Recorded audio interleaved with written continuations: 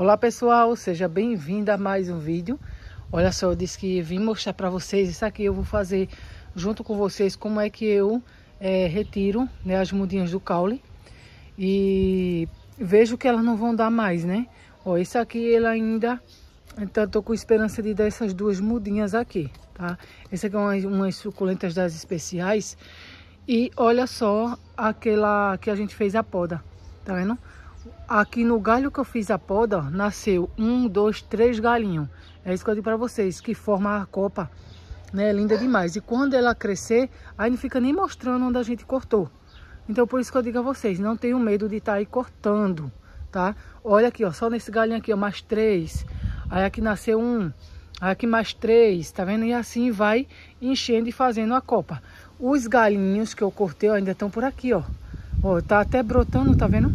Vamos ver se dá alguma coisa, né, nesses galinhos que eu cortei. Ó, cortei já tá, ó, também. Esses outros, os galinhos, ó, tudo cheio de, de, de folhinha nova. Vamos ver se ele vai enraizar e formar, porque demora bastante. Muda assim por galho, já me perguntaram. Josi, quanto tempo mais ou menos demora?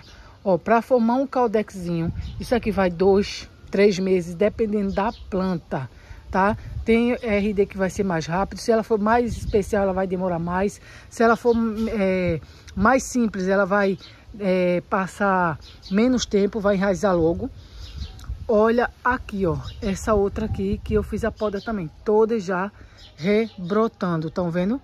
Ó, tá bem pequenininho ainda rebrotando, mas logo, logo vocês vão ver essa, essas RD cheia, cheia, cheia. Olha essa outra aqui, ó. Não, essa aqui eu não fui a poda não, né? Essa assim, ó. Olha o tanto de galinha. Dois, três, até quatro nasce, tá vendo? Vai depender também da RD. Olha com o brilho que vem essas folhinhas novas, gente, ó. O brilho. Deixa eu ver se foca. Olha só. Fica lindo demais. Depois vocês vão ver, ó. Esse antes, tá? Esse antes e o depois. E essa, ó, desde aquele tempo, ó, ainda tá duro. Vocês acreditam eu nunca vi um RD para durar tanto tempo como essa daqui. Menina, isso aqui é perfeita, viu? E olha só, depois do, do replante e adubação, olha quem vem com um botãozinho, a, a branquinha, eu, eu creio que seja amarela, né?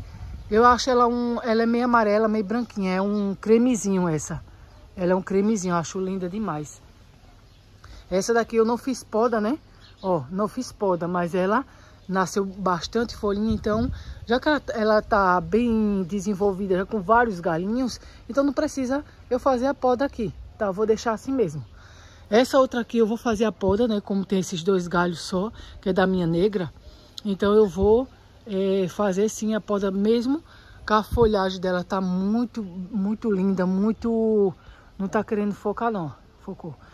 É, apesar que tá muito saudável, né? Aqui eu não tenho problema nenhum com o tipo de praga.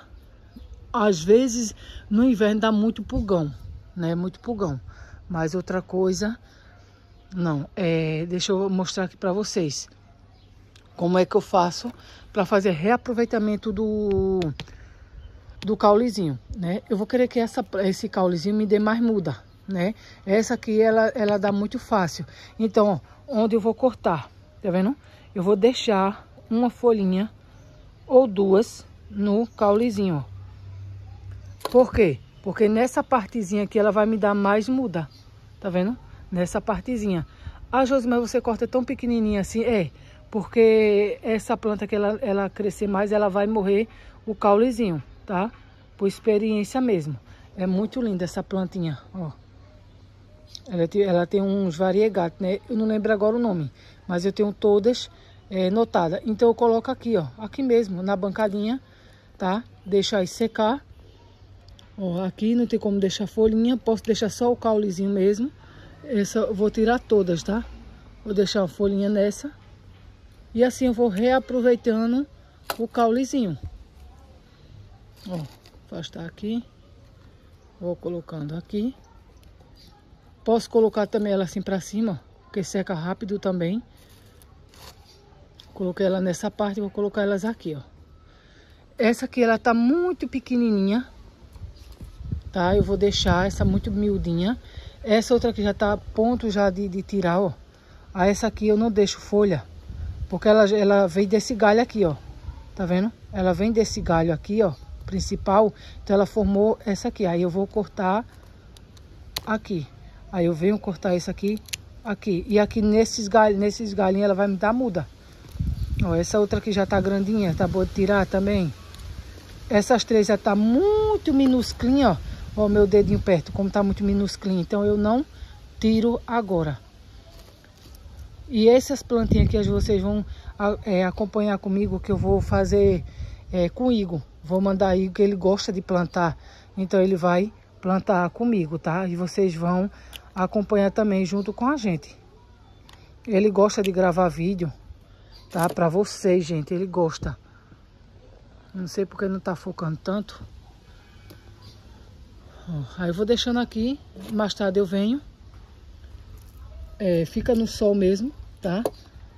Eu posso plantar ela diretamente ou deixar enraizar, né? No potinho, como eu, eu disse para vocês que eu, que eu coloco, né? Para enraizar no potinho. Ó, essa outra aqui tá bem pequenininha, mas eu quero tirar ela. Essa outra aqui, ó. Eu quero tirar ela. Aí eu tiro ela aqui bem um... Eu acho que esse daqui não vai... Não vou conseguir reaproveitar, não. Esse caulezinho, ele já secou. Tá vendo? Por isso que eu tirei ela para que ela não dê fim. Esse aqui vai ficar, esse aqui vai ficar. E é assim que a gente faz o reaproveitamento dos caulezinhos, tá vendo? Então, gente, é isso aí que eu queria mostrar para vocês. Reaproveite também o caule de, de, das plantinhas de vocês. Não, planta suculenta, elas são muito resistentes.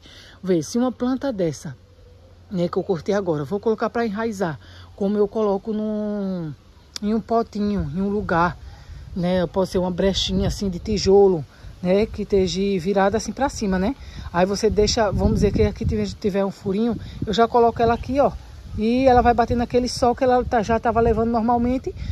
Quando for com oito dias, dependendo da planta, até tem planta que enraiza com cinco dias. Né? Tem gente que já coloca assim do lado, ó, pode colocar assim do lado também. É, agora cuidado para não regar num dia que você cortar, com três dias, se eu colocar aqui, aí eu venho regar com três dias, pode também? Pode sim. Que quando for com oito dias, 15 dias, você vem olhar, ela já está totalmente cheia de raiz. Vocês acreditam? E por incrível que pareça, muita gente chega e diz, ah, eu não quero suculenta, porque suculenta ela é muito sensível. Não é.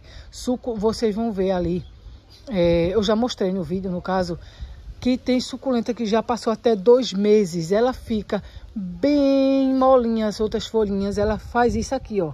Ela fecha, que é para se proteger, mas não morre. Eu digo porque a experiência de cultivo, eu sei o que eu faço e que dá certo. Eu não vou dizer, corta a planta e você deixa passar dois meses. Não. E passo até dois meses ou mais ali, as, umas minhas, porque falta de tempo, gente. Não é não é brincadeira a gente tomar conta de uma loja, a gente fazer jardim, a gente é, fazer eventos. Então foi no tempo do São João que a gente também fazia eventos né, de comida. Então não me crucifiquem, tá?